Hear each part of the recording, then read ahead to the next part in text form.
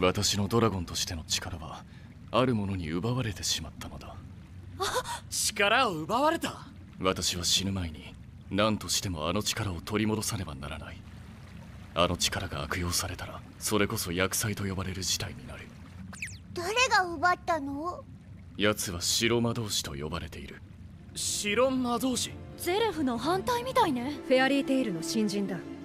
先日マグノリアに行った時に紹介された何者なのだこやつは。ゼレフに並ぶ危険なものかもしれないんだ。100年を生きる大魔女。白魔導士トーカ